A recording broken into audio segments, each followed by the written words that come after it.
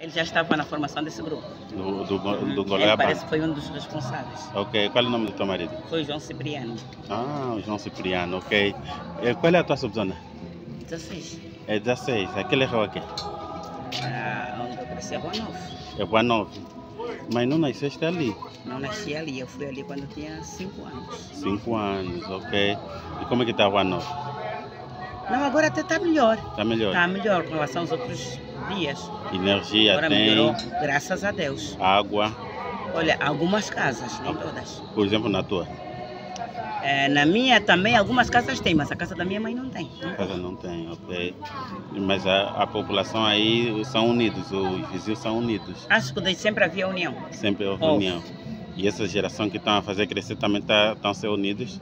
Agora já, não sei, nós já nos afastamos de lá há um tempo. Hum, Agora- não, mas eu acho que tem havido harmonia. ok. Também leva aquela cultura de quando está aí passeando um familiar e também levar o sobrinho, o filho, que é para brincar com outros sobrinhos lá na casa onde estás e fazer uma visita. Hum, Faz- Depende muito. Depende. Se for uma atividade de crianças, levo. Hum, Mas se não for mesmo, se for só de adultos, só vai mesmo adultos. cuidador.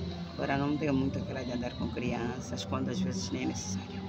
Mas antigamente a nossa mamãe mesmo com o encontro é de adulto, mas sempre levava as crianças que é para com outras crianças também brincar. Não, agora já não se aconselha. Agora já não, não se aconselha muito, né? É por isso que às vezes algumas pessoas estão, as crianças não estão se conhecendo. As crianças não estão se não a mas se há um momento próprio em que as crianças têm que se conhecer.